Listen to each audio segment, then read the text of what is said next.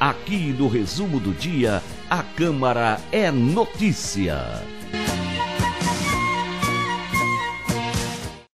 O vereador Delemar Alencar, aqui na Câmara Municipal, levanta uma questão muito séria e importante aqui em Cuiabá. Ocorre que o Ministério Público Estadual acionou a Justiça para tentar anular uma lei de 1999, ainda na gestão do prefeito Roberto França. Essa lei concede isenção no pagamento de água para várias entidades, como igrejas católicas e evangélicas, creches, centros de convivências, clube de mães e outras entidades. Vereador Dilemário, pegou de surpresa, mas você está correndo atrás para tentar reverter essa posição. Exatamente. É preciso explicar para a população que essa é uma segunda tentativa depois que foi privatizado, feita a concessão os serviços de água e esgoto. Primeiro, a CAB tentou anular essa lei, nós fizemos uma grande mobilização, é, junto às lideranças é, de igrejas católicas, evangélicas, os presidentes de bairros, os clubes de mães, o centro de convivência de idosos, as creches filantrópicas e a, a CAB recuou.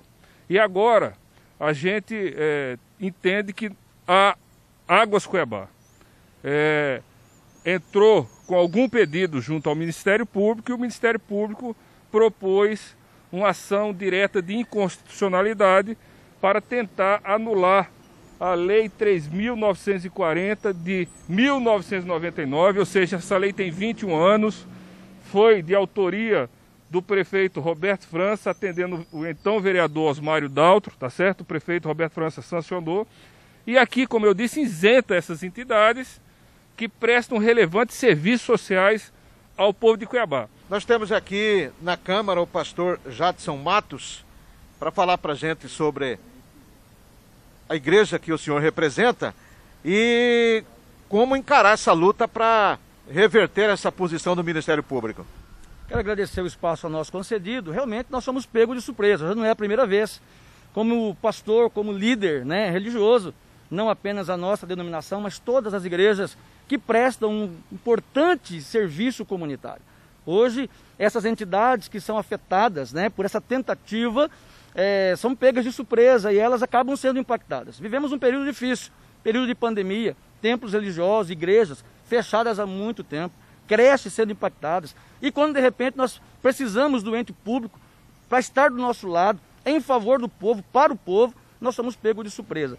Nós vamos buscar marcar uma reunião com o desembargador eh, relator do caso para que a gente possa sensibilizá-lo, mostrar que não houve desequilíbrio econômico financeiro nenhum no processo da concessão dos serviços de água e esgoto. Porque nas audiências públicas na época ficou muito claro que quando feita a concessão, a concessionária deveria também é, olhar o lado social. E essa lei foi debatida nas audiências. Então, quando foi feito o processo licitatório, a Águas Cuiabá eh, e também que foi sucedi que sucedeu a CAB, elas sabiam da existência da Lei 3.940.